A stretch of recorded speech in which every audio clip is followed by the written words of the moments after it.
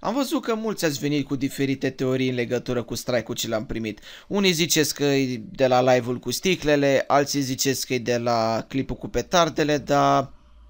n-are nicio legătură. Uh, după cum știți, YouTube-ul are un algoritm foarte bun, zici că e făcut de Viorica Dăncilă algoritmul YouTube-ului. În fine, ideea este că în timp ce făceam live ieri cu Omegle, aseară mai precis,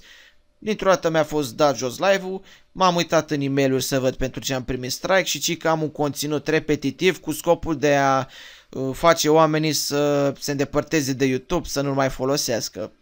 Deci da, dacă eu am zis cumva pe vreun live, am făcut live-uri într-una, videoclipul care ziceam la oameni să lase YouTube-ul, să se ducă pe alte site-uri, eu cred că au fumat ceva ăștia de la YouTube, nu știu. Oricum, uh,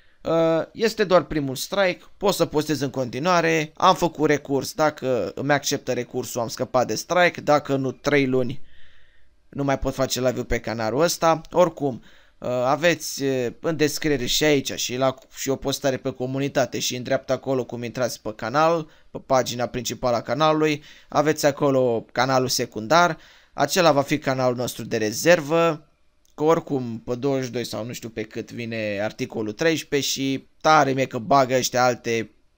sisteme de algoritm, alți boți care cine știe pe ce o să mai dă ea strike în mod abuziv și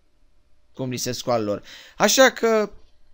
aveți în descriere canalul de rezervă, eu tot pe ăsta o să postez cel puțin până pe 22 când se aplică articolul 13. Dacă nu o să bage ăștia niște boți de căcat, mai de căcat ca ăștia de acum, și, o să, și nu o să primesc strike-uri ampulea, rămân pe canalul ăsta. Dacă va fi șters canalul din cauza articolului 13 cum se teme marea majoritate,